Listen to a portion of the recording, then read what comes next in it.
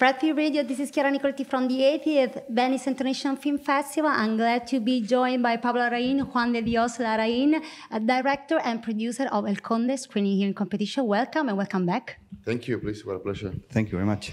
So I'm gonna go right straight to the point. While I was watching the film, I noticed that um, Chilean are often referred to from uh, the vampire Pinochet as ungrateful.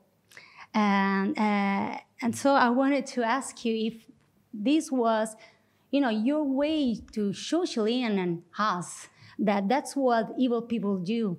To, they think they're uh, they're doing things for they make us believe they're doing things for our own good they make us believe that you know you, you want to be called a thief you want to yeah because what they do is that they see themselves see, see themselves as saviors exactly. as heroes as someone that that uh, it's an Illuminati, no? That is someone that has this the grace uh, and has the virtue uh, to change the fate of a nation.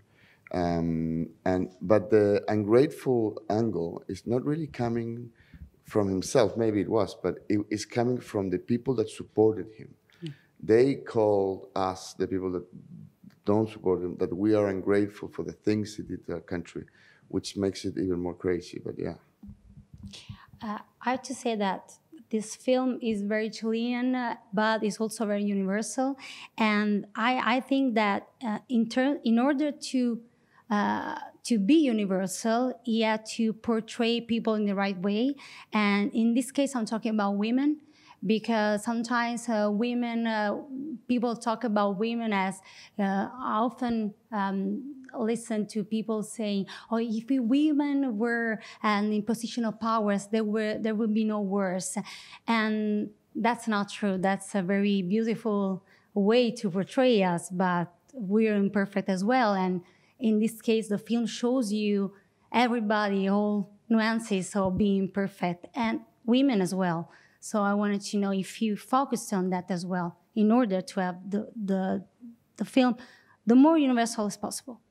Well, the universality is, uh, is achieved through uh, human uh, emotions and, and humans' um, perception of reality, human pain, and about, in this case, with history, also in the way that the film is shot in the way that we, that, that we tell the story. We, sometimes in these films, there are things that Chileans know, but we go and tell that part of the story that maybe we know in Chile in order to conquer the, that idea of universality or to try to do it.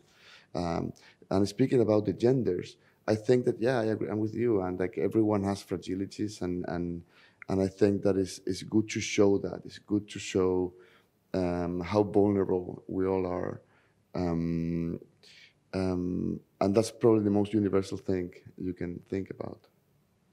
Juan, in terms of production, what were the, the biggest challenges of finding the right genre? I, I, I agree that the, the vampire, you know, allegory was uh, the right thing to do, but in terms of production, uh, what were the challenges? Well, you know, um, our company is turning 20 years this mm-hmm. year, so it's an important birthday. And this is uh, Pablo's 10th film, and I have produced uh, all of them. Uh, that's been a great pleasure. And I think in, in, in this case, um, we assemble an amazing cast and crew. Our head of departments are so great. So I, I, I don't think that the, um, the achievement is on the production side, although the movie is so well executed and looks amazing. I, I, I think that the, the hardest part of the film uh, was uh, for Pablo to understand how something very serious could be mm -hmm. taken with humor, how you can approach um, a subject that has caused a lot of pain to many, many people and make fun of it in the good way. And, and that tone, that limit, is something very hard to settle um, and I believe that for Paul was uh, was very hard and and in how somehow for everybody trying to to help and to create a conversation um, to to have him uh, very secure in order to to achieve uh, uh El Conde and and I think um, in the end, the, the experience was amazing. Let's see what the audience will say. But so far, what we have heard, it's uh, it's something very positive because um, uh, although uh, it, it has a lot of fun, I think uh, in the end there's a very clear message on what kind of things should never happen again. And if the movie is able to create a conversation about that, then it means that uh, we're doing the right thing. One last thing, uh, how did you work together? Were uh, were there any disagreements uh, between you two, especially for the for this film? That well, sometimes we have, sometimes you have, not just in this film. We have a, a company that produces uh, to, to many other directors. We do television and and cinema. Um, but the way that we, uh, he can speak for himself, by the way, but the way that I think that we fix most of our differences is that we do very different things. Um, we're not usually taking the same decisions, and uh, sometimes we have disagreements. But uh, wh- whoever is closer to that project, you would usually have the best way to deal with it. Yeah, I think uh, we mm, we connect with the other when when you need the other, and and sometimes you need more, sometimes less, um, and in this case, um, I think we we and, and myself were like backers of conversations, and and of course on the on the production side. Um, uh, it was uh, something mutual.